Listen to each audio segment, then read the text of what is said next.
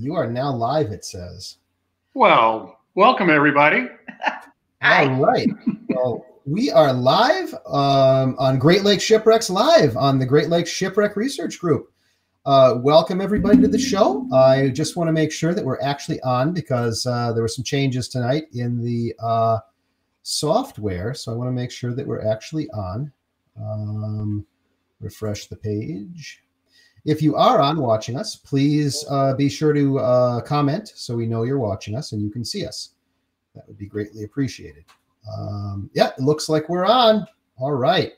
For those of you who tried to tune in last night, our sincere apologies. It seemed that Lake Erie decided to throw one of the storms that sunk many of the ships at us, turned off our power and our internet. So we were without the ability to contact Brendan other than by phone. Well, thank you so much, guys, for agreeing to reschedule so quickly. And uh, thanks again for agreeing to be on the show. It's wonderful to have you. Um, so, as you probably know, uh, our guests tonight are Mike and Georgann Wachter. Uh, Mike and Georgann are uh, two of the most uh, prolific shipwreck hunters on Lake Erie and uh, the authors of the legendary Erie Wrecks series of books. There's Erie Wrecks, Erie Wrecks East. But if you didn't get enough in Erie Wrecks East, there was a second edition. But not to be outdone, of course, there was the West. And last but not least, I think I got them all, guys. Erie I, think you I think you did, Brendan. You may be the only person who has the entire collection. Yeah. I'm, a, I'm just a terrible fanboy when it comes to books. So anyway, and they're great books, guys. And each one features Georgann's original artwork on the cover. Uh, so uh, welcome, Wachters. It's a real privilege to have you on the show. Fun to be here. Mm-hmm. I uh, first met Mike and Georgann at the old Ghost Ships Festival in Milwaukee, I think. Yeah. Yeah. I, am an avid book collector and I saw their books and I was like, we got to get these guys, you know? And so uh, it was such a thrill to finally meet them in person uh, back before my hair turned gray. And it's again a thrill to have them on the show. Um, well, a couple of housekeeping things. Um, we're new, doing the show every two weeks now because uh, I am actually out doing field work a lot. I'm out on the lakes. I hope you guys are also out on the lakes. Um, I was out uh, just last week uh, with Bob Jaeck, Milwaukee, uh, testing out our new uh, the the Wreck Sniffer Mark One, the new 260 kilohertz Garmin long range searching sonar that we built our home our own towfish for, and uh, it flew like a champ. So uh, we are ready to go out and uh, do some big game hunting. at the same time, Bob and I took the Deep Vision Little Eye and we painted the Milwaukee River and looking for uh, interesting debris on the bottom of the Milwaukee River, and uh, we were not disappointed. The Milwaukee River is just uh, a, a, treasure trove of cool stuff. Uh, and if you don't believe me, ask Jerry Geyer. He is the uh, the local expert. So. Uh, we also scanned the Root River in Racine. We found an overturned car under one of the bridges. Very old, though. It wasn't. I don't think it was anything that people didn't know about. Um, and of course, a big expedition coming up in a few weeks, and uh, hopefully, I'll have some something to report. Um, going out, I'm going out uh, somewhere in northern Lake Michigan. So that's all I'll say. Thank you to everybody uh, who is uh, who participates in the Great Lakes Shipwreck Research Group. I want to just uh, offer uh, a sincere thanks to everybody who's posted all the cool stuff on the page. it's really appreciated, it makes our community really work because that's really kind of what it is. It's a community of people who are all interested in sort of the same stuff, and we collaborate together, and um, makes it a fun place. So thanks everybody for that. Um, tonight, uh, for Mike and Georgann's talk, uh, I would like to invite everybody to uh, ask your questions, post questions for Mike and Georgann throughout the show, uh, and uh, if uh, if it's you know an interesting question, we may take a swing at it. Um, so without further ado, um, let's dive on in, guys. So, um, Mike and Georgann, as you as I mentioned, they found I, I think it's 49 shipwrecks on Lake Erie. Um, that is the current number, yes. And, and uh, some of them were found before, but if someone doesn't tell, we found it. let's put it this way: you're the ones who interpreted them to the public, and I think that's what's important. There, right? there you go. Some of them are originals tell the ship's story and do the research to tell its story and to interpret it to the public and explain why it's historically important, it might as well not be found. Yeah. So that's um, that's our theory. The main thing that I, I ask everybody, and it's kind of what our, our audience wants to know about a lot of our guests, you know, who are sort of figures in the uh, Great Lakes maritime history community, is uh, you know how how what's your background? Tell us a little bit about yourselves and how you got involved in this, frankly, unusual hobby that takes a lot of time and a lot of money. Um, how'd you get bit by the bug, guys? Well, let me uh, show you a couple pictures think I can share that. Yeah, this was taken back in 1972 in Europe when we did a backpacking trip through Europe. We had not yet discovered scuba diving at that time, um, but we wound up in San Remo on the Mediterranean Sea. And hello, go ahead. It's not going to change for me, is it? Let's see if we can go the other way. You could just I'm actually seeing your um your PowerPoint deck, the whole deck, not just the slide, not the slide. I'm seeing the whole deck, huh? All right. Let yeah. Me... So go ahead and just move to the next slide. It's okay. Uh, let's let's do that. We'll come. I can do that. I can see it. We can all see it, Mike, on the screen. So if you just go right. Yeah, if you look at the next slide down. Move it to the next one down, and we'll see the next one down. Just click on, on it. Cut that out. Why is that not scrolling? We can do this. Look at that, it worked. Um, so we wound up on the shore of San Remo, which is on the Mediterranean Sea. And uh, because we were on the Mediterranean Sea, we decided we would purchase some snorkeling gear. And we did, in fact, purchase that snorkeling gear. Uh, and Georgann found out that she could see underwater. It was amazing. That is Georgann in 1972 mimicking the Little Mermaid on the rock. And we grew up next to Lake Erie, but we had never done that before. So if you're going to, did I stop sharing that? I think. Yeah. If, if you're going to dive in Lake Erie, we came home from that trip and Georgann immediately signed us up for scuba diving lessons uh, at the local YMCA because how else do you get through a winter in Ohio? Um, and you want to tell them what the first thing that happened when you walked into the room was? Yeah, the instru- instructor said, he took a look at me. All divers carry their own gear. and it was kind of an underwater UDT course at the time uh, where they harassed you and ripped things out of your mouth and the regulator and the mask off and so on um, to order in order to get your certification. So. So it was um, his actual first question was, "What are you doing here?" And she said, "I came to take scuba diving lessons." He had never had a female in the class before. Wow. Um, for those who may not be aware, I'm going to brag on my wife a little bit. She did go on to be one of fewer than 200 living women who are in the International Woman Divers Hall of Fame. So I guess she showed him. Oh, yeah. And, and then if you're going to dive in Lake Erie, which is our backyard, uh, you're either going to dive mud or you're going to dive shipwrecks. Um, and for those of us who have dove shipwrecks, if you don't get involved in something other than diving the shipwreck, it just becomes a pile of boards on the bottom. Now, many of you out there I know got involved in photography, and we rely on people who take better pictures than us for a lot of our publications and presentations, but we also do photography. But what really hooked us was starting to learn the history of that pile of boards on the bottom. Um, when, when you begin to realize that if you're diving a 100 foot wreck in the eastern end of Lake Erie, for every, and if that wreck is 100 years old, for every foot you go down, you just back, went back a year in history. Um, so learning the stories of the people on board, learning the history of the vessel, made them very real uh, and made it so you wanted to go back and dive them again and again and again. And then we started keeping a journal on the boat.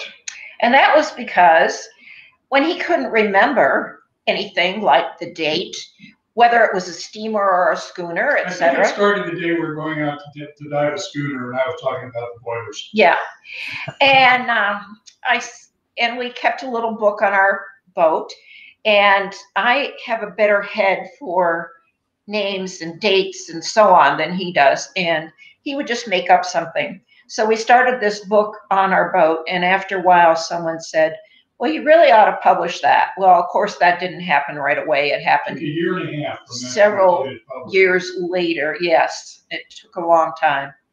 And then people kept finding new shipwrecks. So we would try and revise it, but not add any more necessarily. Although the first time we did add um, when we reprinted, and then we added some on the second one, and then we said we can't keep doing this because as soon as you add a shipwreck, somebody finds three more. So anyway. So yeah. guys, go ahead. That kind of leads into it, you know. Um, the books. I mean, uh, they become sort of must-haves if you are on Lake Erie and are interested in shipwrecks. Uh, t- tell us a little bit about how you guys uh, decided to publish those books, and um, you know, um, they they turned into a, a huge success. Obviously, um, what was the what was the path to doing that like? The original book, the first one you held up, is just titled Erie Wrecks. Um, happened because a very good friend of ours, Jim Paskert, would write one. Uh, Jim's one of the most knowledgeable shipwreck researchers I know on Lake Erie and has been a fairly significant influence in, in our development yeah. over time. Um, and before we took that journal we used to keep on the boat and turned it into a book, I asked Jim's permission. He said, Well, I'm never going to write it he didn't actually believe that we would either, but we did. Um, and then after putting that out, we found another two dozen shipwrecks, or we didn't, but they're they're they were coming to light. They were coming to light. Let's say. Um, so we put out uh, the Erie Wrecks East, which was actually a rewrite of Erie Wrecks, but added a whole lot more shipwrecks, a whole lot more depth, a lot more imagery uh, and became more of a professional publication. And then more and more came to light, so we put out uh, the West book. Uh, the East book basically covers from Fairport Harbor all the way to the far eastern. I'm sorry. Fairport. West East. book puts out from Fairport Harbor all the way to Toledo. Toledo. And the East book from Fairport Harbor all the way to Buffalo. Uh, and then we found even more, so we put out a second edition of second edition of Erie Wrecks East. And one of the things you find out when you put out a second edition is everything you have in distribution comes back to you overnight. so we swore we would never do it in a second edition. Although when we did, I think you are missing one book.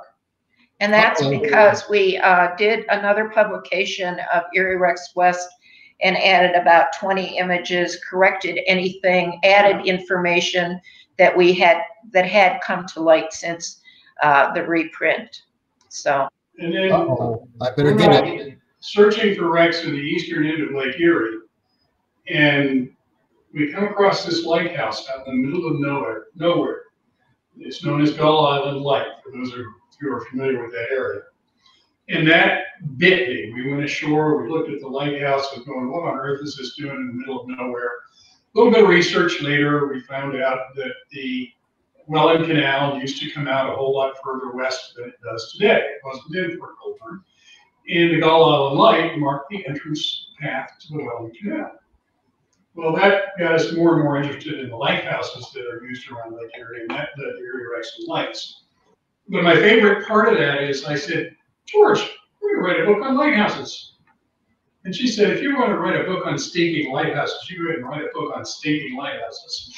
I don't think I used the word stinking. I wrote the part, I was busy writing up new shipwrecks. So I said, all right, you do one thing and I'll do the other. And then we have a lot of followers who are saying, when is the next book coming out? And I guess the one upside to COVID 19 is that it did get us to about 75% done on a new book. Um, and wrecks all over Lake Erie, um, but that have not been mentioned in the previous books because new wrecks are always coming to light. But the other thing that, that drives us is we have a different philosophy from many wreck hunters. Um, most of my very good friends who are shipwreck hunters believe the best way to preserve anything they find is to keep it a secret. Therefore, other people really never know about it other than they may know it was found, and there are a couple of really, really great people doing presentations on their finds. Dave Trotter comes to mind. Um, but we believe in Lake Erie being such a shallow water, body of water that, first of all, people are going to eventually find them. And secondly, we want to drive diving interest in the Great Lakes. So by documenting the vessel as thoroughly as we can and then publishing that documentation, we, we create a baseline for what the wreck was like the day it was found. Sure. Uh, and then we create an opportunity for people to go out and dive it. Um, people will, will get our books or they'll go on our website we have an interactive shipwreck map on our website that gives you all of the information you really need to um, see the to, to go diving on many of these wrecks. So if you take a look at this interactive map, um, you can click on any wreck there or any section in the lake, and it will give you the GPS coordinates for the wreck. It will give you a picture of the wreck on the surface. It will give you the story of its loss. Um, so try to share it as many ways as we can between the books, the website, and the. Um, we have a shipwreck map also yeah. um, that we listed. Uh, I think we're up to about 340 wrecks because when we redid it, we added about 50 to the the total, but now that is only available online. The printed version that was laminated is not around. Sold out. So. So that would be this map, correct? That, would, be, that, that, map. That would be that map. That and map documents. I think we have 305 shipwrecks on that map. Um, for those of you who can't see on the screen, the small print on the bottom gives you the name of the vessel, its location identifier, and its GPS coordinates. Um, With a couple PAs thrown in there. Yeah, PA meaning position, position approximate. approximate. Meaning our boat has not sat on it, nor has somebody we trust well enough to really use the number. Yep, exactly. But someone's boat has sat on it, and they gave us a number, we just didn't trust the veracity of that number enough to make it something other than a position approximate. Yeah. So, So that's kind of where it came from. very cool. So that brings me to uh, kind of a, a question for Georgann. Uh, you do the artwork for these books. Um, how how did that come about? These are some really uh, stunning um, representations of these shipwrecks. I think you're the only person I know that that does these sort of artistic pictures of shipwrecks. Um, how'd you get interested in that? Well, I started painting. Uh, I was a band member, and um, that was my father's idea. I should have been taking art all along. And I started painting, and I seemed to be drawn to pictures that have water in them. And then, while thinking about illustrating the books, I uh, started painting sometimes from old photographs, old black and white photographs. They might have been from the 1800s and I can change them if I care to. Uh, I have some of the pictures I have done, like a couple of the covers of the books are totally made up. Uh, I liked to show the ship sunk and then what was going on.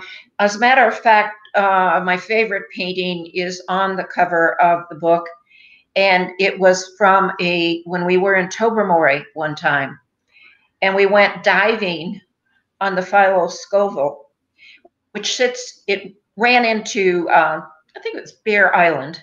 Uh, I may have that wrong. Um, but the fact of the matter is, it sits on white rock, slanted down an incline. And we went diving on it during a thunderstorm. And it was surreal underneath there with the lightning suddenly popping out. And um, so I wanted to try and recreate this thunderstorm while we were diving a wreck. It was like diving at night with strobe lights going on. Wow. All around you. All of a sudden, you could see the whole wreck and It'd then be black. and then it would be dark, dim again. So We thought we were much safer in the water than on a steel tugboat used as a dive boat. yes. So, and then to illustrate the the ships, I did do some of them. Um, this happens to be uh, my rendition of the Belle Mitchell. Uh, the Belle Mitchell happens to be my favorite wreck. Um, and it is the only wreck that we have not let out for general publication, so to speak, the numbers. Um, the wreck we found, oddly enough, we were in Conneaut, Ohio, which is uh, way east in Ohio. And uh, somebody had told us about a little wreck that they snorkeled off of Ra- Raccoon Creek. So uh, we went over there, but somebody else who was a shipwreck hunter had told us about a wreck that was, they were afraid to dive it. It was up by Long Point in Canadian waters, and they thought it was a shipwreck covered in nets, and they were scared to death to dive it. So they told us where it was. So first we went and found a little beaten up wreck in eh, 15 feet of water off of Raccoon Creek. And then we found um, that we should head north, and the wind was out of the south. And the further north we got, the rougher it got, and all of a sudden we ran over uh, This, this, which we believe is the Belle Mitchell. Wow. Uh, and um, now the best thing is we're already in three to five foot seas and they're building. So we went on to the other site and didn't get back to this wreck for a full year. We had not really sat on top of it and gotten a good number because we actually pinned it at cruise doing about 25 miles an hour. Um, and neither one of us was willing to tell the other we were scared to death we'd never find it again when we went back. and it's a long way from our harbor to go. It's probably a hundred miles or more. Oh, wow. In any case, we uh, continued on. Uh, first of all, we did go dive uh, the site that we had been given and found out that it wasn't a wreck covered in nets. It was a barge dump. And there are two Koehring excavators and a Caterpillar loader underwater on a sand bottom with part of the house of a barge. And it took about 10 years to figure out who had lost $100,000 or more worth of equipment in the bottom of the lake. But this is the Belle Mitchell. Um, she is just a beautiful wreck. Um, she lays, as you see her, there are two scuttlebutts on the side of her. See those two barrels? They rest on the port gunwale. And yes, she has a brass bell on her Wow. and it's a beautiful bell. Uh, the wheel is intact, the steering gear is intact. You can see uh, drum style capstan in the center and the bottom, a pump also, and on the um, lower left uh, or right there is a um, stove, So, cook stove. It's one of two stoves. Uh, we found the base of the compass. There are plates. There were Plimsoll marks on her. Uh, the top of the cabin is uh, laying on a sand bottom. It's only in 60 feet of water. Um, it's just a gorgeous wreck. So we've been a little reluctant, even though it's in a remote part of the lake, to let this one out.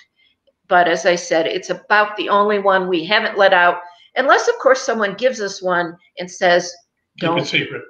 Don't tell, and then we keep it secret. Sure. It looks like a beautiful site. My goodness. It's, uh, Nice. It is a diving re- truly incredible site. The um, and one we've had a few very very close confidants who have been permitted to dive this thing.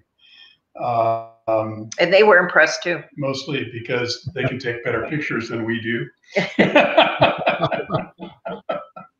it's hard in Lake Erie. There are also people that we trust not to give that number out. Because sitting in only 60 feet of water with a brass bell on it, that's just a bit too tempting. So Yep. keeping that one So- close to the vest.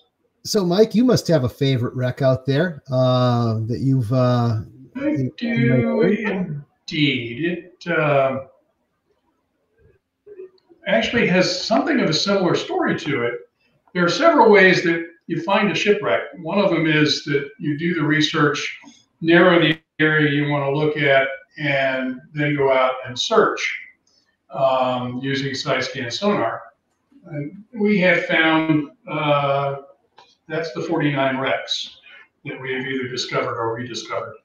Uh, the other is that at the end of the day of searching, you go to the bar um, and you get a sandwich and a drink, and you're sitting at the bar and strike up a conversation, and somebody says, "Shipwreck searchers, are you? Do you know about this one?" And they'll tell you all about a shipwreck you don't know about. So now we have another one for the book. Um, so we were setting up to go and look for a wreck off of Cleveland, and we're closing in on our search area. So I brought it down off plane, but we weren't really starting to look yet, and we ran over the image you're looking at right here. Wow. Um, again, just purely fortuitous. So, needless to say, we didn't do any more searching that day. We went down to look at this thing and found a lovely tiller steered schooner, eight foot tiller on this thing. Um, the uh, windlass is still in place. You can see in the upper right hand corner. She's got scroll work on her bow. Her starboard anchor is still mounted on the rail.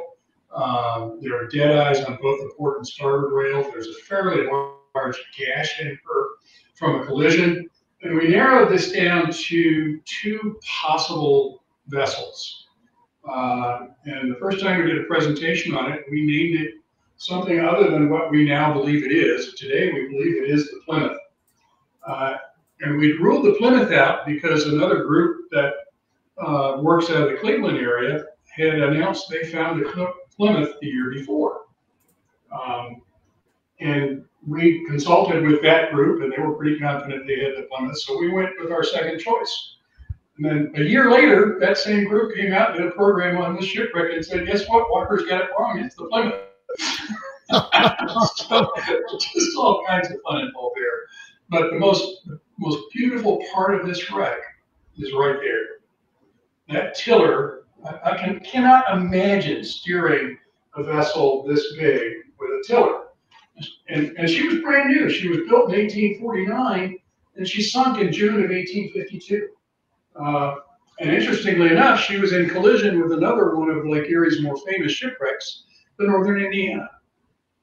The Northern Indiana centered to the bottom, and the Northern Indiana herself went to the bottom in uh, the summer of 1856 and that was a terrible fire that consumed her. Captain was had left the mate in charge. He was uh, stayed in Buffalo. Uh, that vessel, the Northern Indiana, went back and forth between Toledo and uh, Buffalo for the Michigan Southern Railroad, and uh, she caught fire somewhere in the engine room.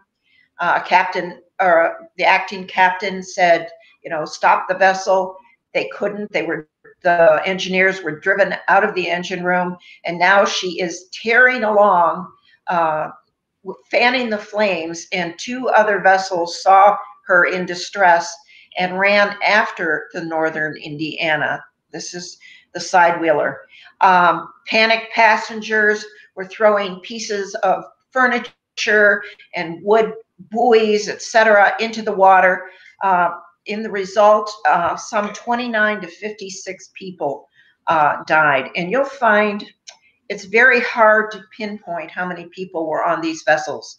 They didn't keep very good records, and if they did, uh, conflagration like this would have taken out the books of the purser or the steward that kept track.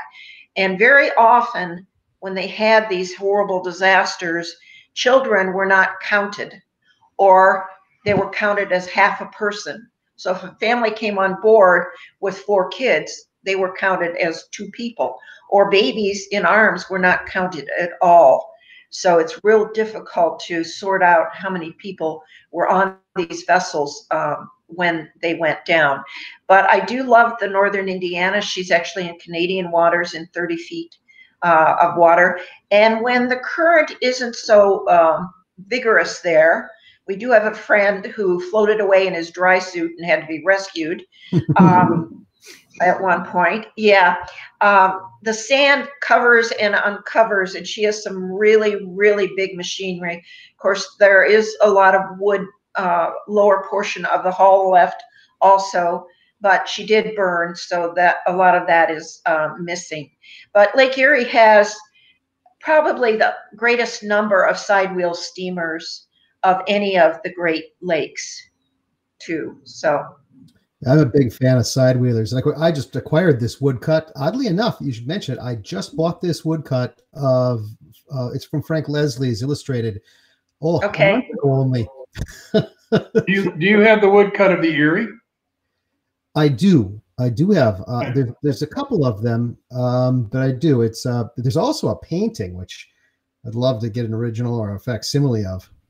Okay. Um, I have an electronic version of the same painting. I'll be happy to send you. Thanks, Mike. I appreciate that. Yeah. Um, if, shoot me a note to remind me I said that. Because oh, the Erie's kind of an interesting story in and of itself, because it's another one of the great sidewheel disasters. Um, and while it is not known as the greatest loss of life on the Great Lakes, actually, uh, the greatest loss of life on the Great Lakes is possibly the Lady, the Lady, Lady Elgin. Elgin. But the Erie may well have had more people aboard it. Again, because G- of those. I'm sorry, the GP Griffith. The G- I'm saying Erie. Yeah, the GP Griffith may have had uh, more people on board than the, um, than the Lady, Lady Elgin. Elgin. Uh, the loss of life on that vessel was about 300, give wow. or take. Once again, a whole family might not have been counted as a whole family. Interestingly, the, the image you have up right now is the uh, Atlantic. Atlantic. No, it's not the Atlantic. It is. It's the Atlantic Ogdensburg. Yeah. Okay, the Atlantic, Ogdensburg. And I, I, have had this one for maybe about 10 years. I, I sought yeah. this one out. Yes, that's the Atlantic.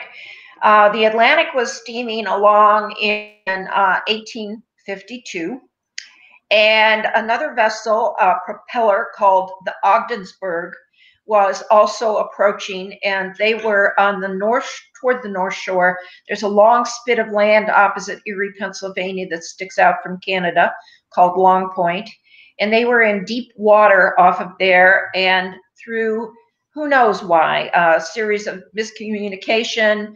Uh, the Atlantic, at one point, it was thought that they were approaching a slower schooner in any case, the two vessels collided. There were approximately 500 people on the Atlantic. Once again, these figures, everything is lost when the ship goes down, even if they did count them correctly as they boarded. Uh, a lot of them were Norwegian immigrants, and uh, both vessels collided. They both thought they were not terribly hurt, so they both kept going on their path until the Ogdensburg, the propeller, heard the screams from the frightened passengers on the Atlantic. And she turned around and rescued about 250 people.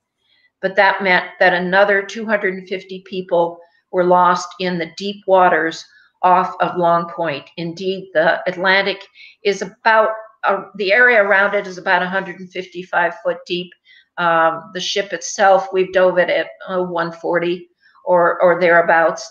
And the Atlantic actually was a treasure ship. However, the treasure was recovered. the uh. treasure was recovered by a diver, hard hat diver named Harrington, uh, a couple years after uh, her demise. Of course, there was another diver that reached her first by the name of Johnny Green, and Johnny Green actually um, found the safe, pulled it out on the deck, got the bends. After all, he's diving air in a hundred and some foot of water, and he's diving for hours at a time, and uh, ended up getting the bends. And when he returned to the site, Harrington had found the safe and retrieved it, and there was gold and uh, payroll in that particular um, vessel. But do you want to know about ah? Oh, the submarine. One of the things used to salvage the Atlantic was an early Lodner Phillips submarine, um, and that submarine was lost during the salvage operation and is still lying somewhere in the silt off the Atlantic. So there's a submarine still sitting in the bottom of Lake Erie undiscovered. There is an undiscovered. Well, there's some question about that. We have a side scan image from none other than Gary Kozak, probably the world's foremost side scan imager, that he believes, and we agree, has the Lodner Phillips submarine it. it. might have um, the, wow. the, in it. And then talking to some really early divers before the silt had built up, they saw some cylinders uh, nearby, and they had they were trying to raise the Atlantic, and they actually had chains under at one point, and they thought perhaps the cylinder that they saw was uh, some sort of pontoon for raising, but it may very well have been this sub that was described as being some 20 to 40 feet long. There are newspaper articles about it. Uh, they sent the sub down and it got to 100 feet, not the all the way down, and it started to leak. So they brought it up, and when it was re-submerged, uh, with no one in it, fortunately, the hawser broke, and it ended up on the bottom uh, next to the Atlantic. Now, this area of the lake is very silty. In fact, if you look at the, the pictures of the Atlantic when it was found, you're looking at a sidewheel steamer sitting on the bottom, looking like it could be floating. And if you look at it today, it's three quarters covered in silt. Yeah, it, a lot of it's covered. Yeah. So I, I have this image. Is this related to the Phillips submarine, I assume? Um, that is a Lodner Phillips submarine, but that is in the river up by Chicago. Uh, it was found uh, by the diver that salvaged a lot of bodies off of the Eastland when the oh. Eastland fell over in the Chicago River. and that is a Phillips sub. He had about three of them, and uh, various family members say they remember out on the farm there was this cylinder that they played in when they were a child. Uh, at least one of his subs submerged and killed a man and his dog, uh, but supposedly Lodner took his family in a submarine and went down to the bottom and not necessarily very deep and stayed a little while. But this uh, was found removed from the Chicago River and uh, ex- exhibited in around 1915 uh, when the Eastland um, diver found this on the bottom. And one of the fascinating things to me is the news articles about the man and his dog dying in the submarine lamented the loss of the dog, not the man.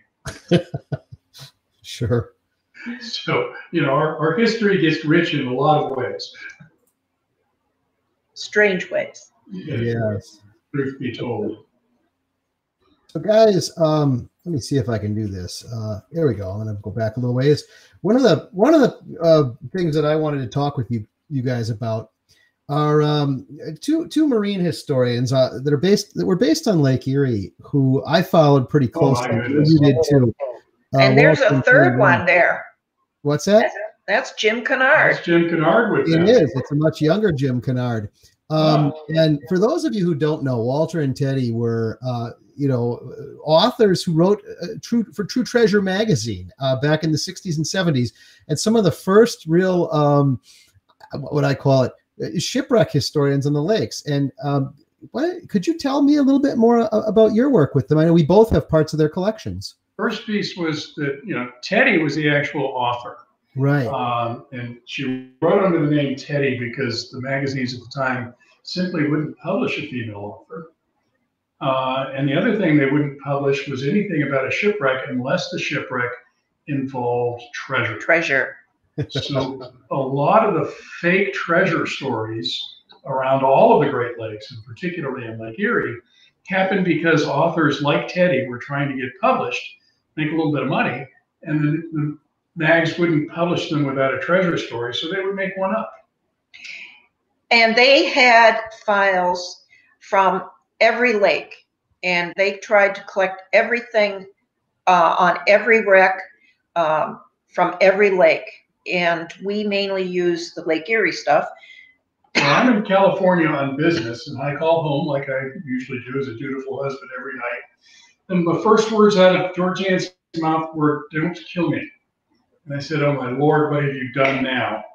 She said, I spent X thousand dollars buying the files from the Remix. Well, you have to understand, we never met Walter and Teddy. But her daughter, after Teddy died, was selling out everything. And they knew divers all around the Great Lakes. And some of these were commercial guys.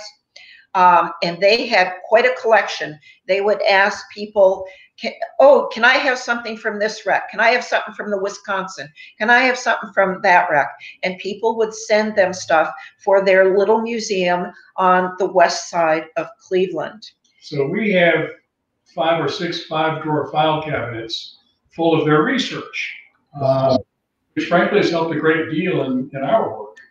And then we went over after Georgann bought all the files and I'm talking to her daughter, and she's selling off the collection, in large part because she hated it. Her parents, she thought, had ignored her when she was growing up because they were so busy with their wreck stuff. and so sitting there is a pristine condition Mark V helmet. It wasn't pristine. It was pristine. and I said, I'll give you $500 for that. And she said, sold. And my wife says, you can't sell him that for it, it, oh, it's worth three thousand dollars at least. oh no! Plus the Mark V helmet, um, and waited till she left the room to offer five dollars for the ingot off the Pewabic, which we still have today. yes. And uh, I wasn't. I was mainly interested in the books and the files. She they had quite a wonderful collection of books and some old photographs that were really truly amazing. Some of the old time uh, hard hat divers that had some really great stories to tell of work they had done. Um, but we, I did pick up a few things if I had dove the wreck or if it pertained to Lake Erie. And they had some interesting things. They had guns from police divers. They had uh, just all kinds of little toys from a, a, a freighter that was going to the upper lakes, you know, for Christmas and all kinds of uh, things. And it's so, one of the better collection of shipwreck ephemera that I've ever seen. Yeah. And unfortunately, it got spread among many, many collectors uh, and is no longer even close to intact. Yeah. Uh, so. I know um, I ended up with copies of most of their magazine articles in the original um on the original like carbon paper. Okay. So okay. Yeah. It was there, you know, she would type them and send the original in and keep the carbon. And so I have this stack of carbons of maybe uh, maybe 150 articles that they wrote about different shipwrecks. They were very prolific. Oh, very. Yes. Yeah, I think I got those from Al Hart, if I'm not mistaken. It might not okay. have been. Okay. So just to, to kind of finish that story, we uh, this past February celebrated our 50th anniversary. And wow. I am very fond of telling the story about the hard hat that she cheated me out of. So for our anniversary, she bought a a vintage an ice bucket. a vintage ice bucket. A vintage ice bucket that is in the shape of a hard hat. So and, and also a, a lovely piece of bling jewelry that she had custom made with a hard hat and a coin off the Atocha. Oh wow, so, very cool. I'd still rather have the Mark V. so anyway, that's our that's our story. I got tired of him talking about it. Well, of course, you know, I I can't uh have somebody from Lake Erie on the show without asking the obvious question. Um, you know, uh, when when when did you guys find the Marquette and Bessemer number two, and how come you're not telling anybody about it? We found it five years ago. Um, we actually have a picture of a lantern off of it in one of our books, but we've not finished taking the gold and silver off it, so we're not going to release it until we've removed all the valuables. And we'd have to kill you if we told you where it was. so, shorter answer no, we've not found it. And to the best of our knowledge, neither has anyone else. Um, that's one that even the guys who really keep it a secret, if they found it, uh, it would get out if it was found. Um, there are those who, we were talking earlier, Brendan, those who think it's buried completely under the mud of Lake Erie. Um, Uh, yeah. None other than Chris Cole thinks it's up on the hard pack. Otherwise, they would have caught it with uh, fishing net. fishing net. Mm-hmm. And we don't think it's on the hard pack. We think it's probably in U.S. waters. Otherwise, they would have caught it with a fishing net. Um, and there's a good 75 square mile area of water out there. Maybe 100. maybe 100 in the path that she was last known to be on, or a path we can assume she was last known to be on because she was seen or heard in all four corners of the lake within an hour and a half, and that's not possible. um, this uh, this wreck, uh, incidentally, is a car ferry, the Marquette and Bessemer number two. Um, it's the Marquette and Bessemer number two, the first. There was a second one. As a matter of fact, most of the time when you see a picture of the Marquette and Bessemer number two talking about the wreck, it's the wrong boat. It's the replacement boat. And why they named the boat the same, who knows? However, uh, she set off in 1909. It was December. Um, captain and uh, first mate was his brother, uh, Captain McLeod. She set off from Conneaut on a regular run. She had 30 uh, railroad cars full of coal, three cars of steel castings, and uh, additional structural steel in her belly. In her belly. So she's got to be the largest magnetic anomaly in the lake, and we can't find her. She's 350 foot long and about 55 feet wide.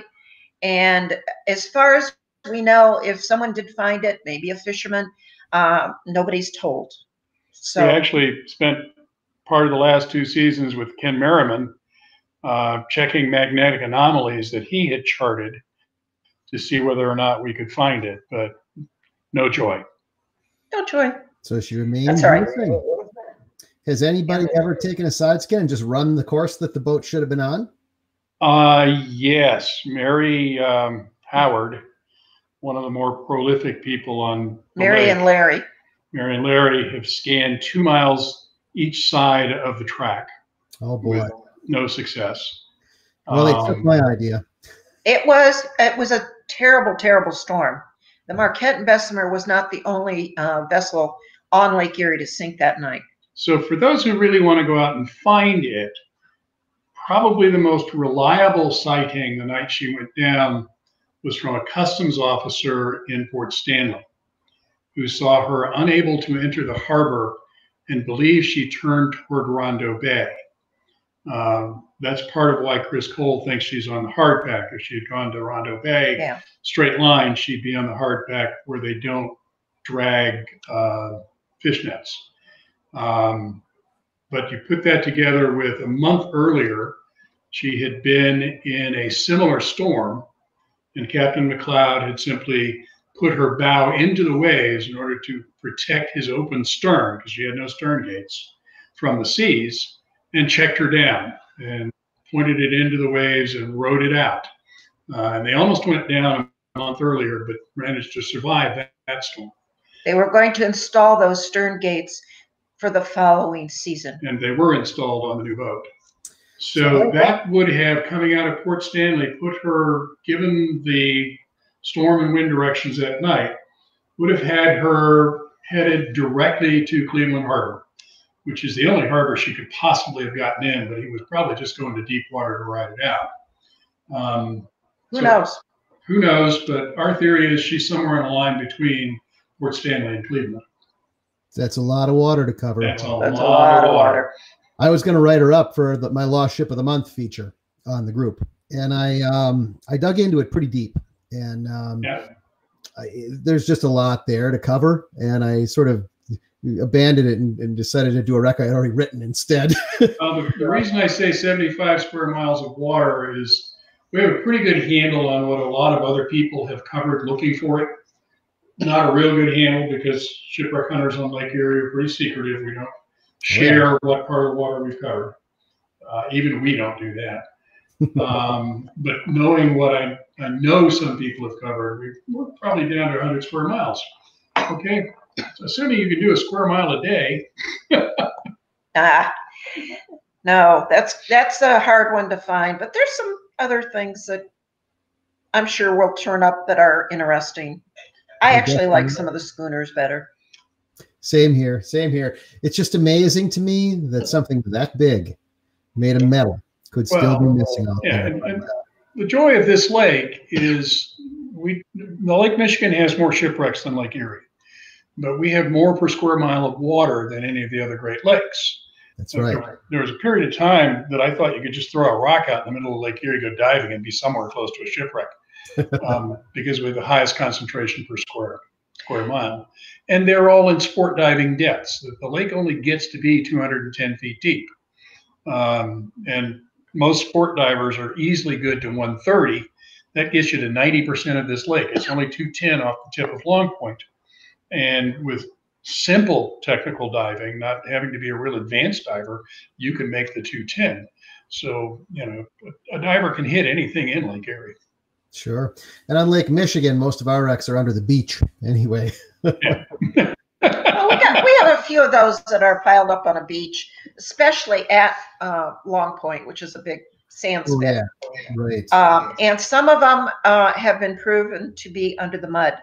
Uh, there's one very uh, large, the Lockwood, uh, which right. they feel that a combination of there are earthquakes, um, mini quakes, mini quakes off of Lake County, Ohio, on the other side of Cleveland that borders Cuyahoga, which is Cleveland's county. If you think of this class of wine as the bottom of the lake, and the wine being sand, recognize every time you get a mini quake, it does this. Sure. Or sitting on the bottom, sinks down just a little bit deeper. And this particular sh- ship, they knew where it was. It was very, very heavily salvaged, uh, blown up, clamshelled, etc. And uh, so they did a number on it, and now you might find a davit. Uh, but we got a really odd hits uh, when we finally found the location. It's because she carried ore. Uh. and then a couple of years later, the guys from Cleveland Underwater Explorers went out with a sub-bottom profiler and demonstrated that the wreck is in fact there, completely under the sand. Wow, covered up. Yeah. Covered yeah. up under that, That's one of the more interesting pieces of work I've ever seen. And everybody hated it at the shipwreck programs because there wasn't a shipwreck. And I thought, this is fabulous. well, guys, one of the things that you know really fascinates me that I I'd heard about for years because it's on sort of the the shipwreck maps and talked about in some of the books on Lake Erie is there have actually been Spanish gold and silver coins found on Lake Erie in significant quantity in one place. And, um, and, and, you know, it, it boggles my mind how that could be, and yet it's very it's authenticated. Can you talk a little bit to that, and and let's speculate a little bit about what what? yeah, on it on its way to pick up gold in South America, Nuestra Senora de la Atocha came through Lake Erie. You're right. Uh, yeah, there is a there's an area up off of Erie called the Coin Pile. Buffalo. Buffalo. Um, that divers have been going to for years. I mean, they were diving the Coin Pile before we started diving, diving. in in the early 70s uh, and bringing up coin off of it. And there is specie of all type. There are Spanish coin, there's gold, there's silver, um, there are coins from around the world in this coin pile. And it's probably was a payroll. Um, and uh, as a matter of fact, the History of Dive Museum uh, down in Islamorada, Florida, where we happen to be associated with them, uh, they have a bunch of coin from that coin pile. And we also have known a couple divers that um, um, have worked the coin pile. The one time we went up there, uh, we got blown up. So yeah, we were in a 12 foot boat, and the boat seas were running only five to six. Yeah, oh, so we, didn't, we never dove it. So but. we have never dove it, but we have a number of friends who have dove it and have coin out of it. And I'm not sure you, they're getting so much these days, but at that point, someone had found it, and uh, they were, and the old clay pipes and all kinds of debris uh, right up there by Buffalo. So we've, we've never really done the research to find out what it may be off of. Mm-hmm. Um, but there are a number of shipwrecks in that area that undoubtedly are its primary source. So it's interesting because there there, there was a lot of uh, foreign, you know, currency like that used early on. Oh yeah. Oh, it, it, was very common exchange. Uh, uh, we didn't really have a currency to speak of back in the early days. Yeah, it could be uh, early 1800s even. Yeah. Or even earlier, uh, the Bradstreet expedition uh, was in 1764, right after the French and Indian War and before we were even a nation. And when you realize that a lot of the loss of life on these old sidewheel steamers and the schooners with, when we were transporting immigrants was because the immigrants had gold sewn in their, their petticoats for the women or in their vests for the men. It was it was their life savings that they were going to start a new life in the new world. It would be um, interesting to me to see if these are if the coin piles could be archaeologically examined because you know the clay pipes, the things that suggest a certain time period, and the coin could easily yield a time period and a likely source um, for a, a vessel. Um, mm-hmm. They know, could indeed. They could. There were se- there were several expeditions uh, the Wilkins expedition and the Bradstreet exp- expedition uh, that lost a considerable number of ships uh, as they were doing a show of force against Pontiac and the Warring Indians at the close of the French and Indian War on Lake Erie. And these were smaller vessels, maybe 40 mm-hmm. foot long bateaus that the soldiers would row, or they might have a small sail that they would fit to uh, the ship and they are um, there is a cannon that was found uh, off of Avon Point. We live near Avon Point. Sure. Uh, a small field piece, and um, we discovered in one area of the lake. Um, we were led there by an underwater archaeologist uh, who was sort of a amateur guy. And uh, lo and behold, I came up with a bayonet Wow. Uh, that Mike said, that's the windshield wiper off a Volkswagen. And I said, I don't know what it is, but it looks. um, and um, and there were cannonballs there. There's a rammer. Uh, there was a trigger guard. And what happened was when they lost half the ships in the Bradstreet expedition, uh, they buried a lot of the munitions uh, because now they had not enough boats for all the soldiers. So about 380 men had to uh, walk back to Fort Niagara. And interestingly enough, they buried six six pounder cannons. Supposedly went back the next year to retrieve them and didn't get them. So, to the best of our knowledge, those six cannon are still out there somewhere. Wow. One cannon recovered in Lake Erie. Um, it was on display for a long time in the Buckeye Divers Dive Shop because um, Paul uh, Reynolds found it. Mm-hmm. And he found it the way many things are found. They had been diving for the day, they were finished diving, had anchored the boat and jumped in the water to swim off the beach and tripped over the cannon. Wow. How'd you like to trip over a cannon? that and the bell from the GP Griffith are probably the two best things so to for, have come out of the lake. For anybody in the audience that really is interested in finding shipwrecks, we have found far more success by accident and in bars than we have in the hours and hours and hours of absolutely boring side scan sonar searching that we have done. I think everyone can attest to that. Is hours of sheer tedium interspersed with moments of ecstasy. Yeah. More shipwrecks are found in bars with commercial fishermen, I suppose, than are found with side scan. Uh, well, that's uh, that's how they found the Wexford. Roy Pickering um, and and Alan King, who are among the most prolific finders of shipwrecks on the Canadian side of Lake Erie, have found most of them because the fishermen call them when they snag a net. They go out really and loosen their net and have a new shipwreck. Mm-hmm. It's a great way to find a shipwreck. It's a great way to find a shipwreck. Definitely. Yeah. So guys, um, what's it? What's what's the future hold for you? Uh, you guys still out looking? Uh, new books coming out. I I I hear. Uh, we do have one in the works that, that we're probably going to finish up. Um, we've slowed down a great deal as our hair turned gray. Um, Speak for yourself. We still spend part of every week uh, running side scan back and forth across the lake. Um, unlike many of the people in your audience, we don't use a tow fish. Our lake is so shallow, we can use a Humminbird uh, unit. So it's a hull mounted unit Sure. Most of the time, I'm searching only in 60 to 80 feet of water.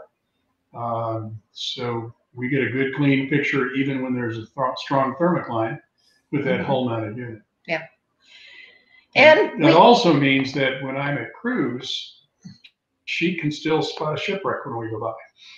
Get- Because she's staring at that screen all the time. If she sees a straight line, I have to stop. I get I get what is called go backs. Certain number, and then he gets tired of them. Oh, that's a rock pile. Oh, that's not a rock pile. But we have found a couple uh, shipwrecks while we were at Uh, the, the cruise. two we shared as our favorite wrecks were found while we were at cruise. while we were at cruise, we weren't specifically So- looking for them. And to, to quote a very dear friend of mine, Mr. Trotter, uh, finding shipwrecks is a function of time on the water. Um, We the more spend a time you spend on the water, the more likely you are to find a shipwreck. Yes. Very true, guys. Yep. Well, up on the hour, and uh, I want to uh, thank you guys uh, for being on the show.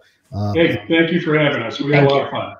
And uh, great to hear you guys tell these stories about some of the wrecks that you found over on, on Lake Erie. And uh, there's a lot of stuff that I'm sure our listeners have not heard about before that you guys talked about tonight. You know, particularly the coin piles and uh, just just cool stuff. So thanks so much for uh, Okay. being on the show. Absolutely, Brandon. All right. Uh, You couple, take very good care, sir. Yeah. Good bet. hunting. couple of couple of housekeeping things before we wrap up. Uh, we're not going to do a Zoom room tonight, uh, just because um, we uh, are off our usual night, and um, uh, we will do one uh, next in, in two weeks. Uh, our guest for two weeks is still TBA. I have uh, several people lined up, but I'm still jostling the dates around. A lot of people are on the lake right now, so uh, I will uh, announce uh, within the week who the uh, next presenter is, go- or the next next guest is going to be on the show. Um, and uh, I think that's about it. So uh, in two weeks on Wednesday night, again, uh, feel free to join us. And uh, this show will be uploaded to YouTube uh, tonight. So if you want to watch it or you want to share it on other channels, feel free to do so. Thank you, everybody, for joining us. And thank you so much, Mike and Georgann. Uh, Mike and Georgann, stick around after we close out and uh, have a good evening, everybody. Okay. Okay.